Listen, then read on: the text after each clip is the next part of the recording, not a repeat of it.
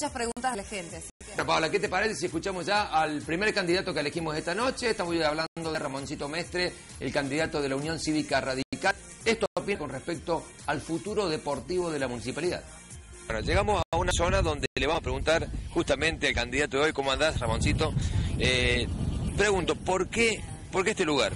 Este es un lugar donde eh, en forma, por primera vez, se inició el Club de Rugby Villa Libertador, que es un emblema de aquellos que son pioneros en el deporte y más aún en lugares que muchas veces son desfavorables para la práctica deportiva y mucho más aún en los lugares donde están olvidados.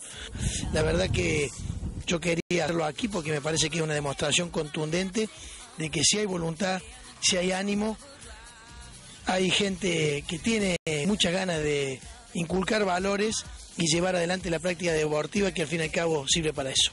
Bueno, te paso la pelota ah, para que paremos la pelota un poquito con otras cosas que no tienen que ver con el deporte y hablar justamente del deporte. Eh, Porque poco se habló, la verdad, sinceramente. eh, Uno escucha a los candidatos y se habla mucho de otras cosas, pero poco de, la- lo que va a ser deportivamente el intendente, el futuro intendente. En este caso, ¿cuál va a ser la política de deportes tuya eh, después del domingo?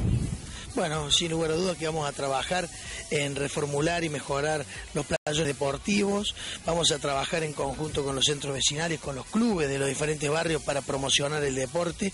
Yo quiero llevar adelante la constitución del campeonato Inter-CPC de fútbol infantil y también, por supuesto, llevar adelante la constitución de un campeonato interbarrial. Creemos que son hechos muy significativos para la práctica del deporte, pero no solamente para los jóvenes, también tenemos un programa para los adultos mayores que creemos que es importante que también practiquen deporte. Eh, pregunto si obviamente será una, una forma de sacar a los chicos de la calle haciendo estas cosas barriales. Bueno, este, eh, fue la idea de venir acá, demostrar de que se puede sacar los chicos de la calle e inculcarle deporte, en el caso del rugby, que a lo mejor no es un deporte muy popular, pero que evidentemente cuando hay ánimo, hay voluntad, se puede hacer.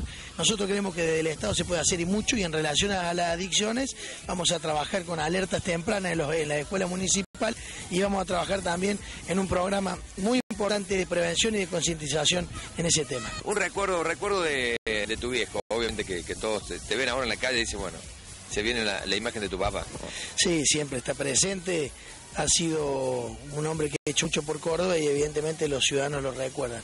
Y yo el mejor de los recuerdos me inculcó valores de compromiso, de trabajo, de ejemplo en el sentido de, de cumplir con lo que prometí. Así que la verdad el mejor de los recuerdos del viejo. Le gustaba mucho el deporte, le gustaba mucho el deporte, mucho el automovilismo e inclusive de joven fue el presidente de la subcomisión de, de básquet de la U, cuando la U era un club que iba para adelante y ganaba muchos campeonatos. Este, hay un memorable equipo de la U que lo integraban, por ejemplo, los hermanos Cisneros.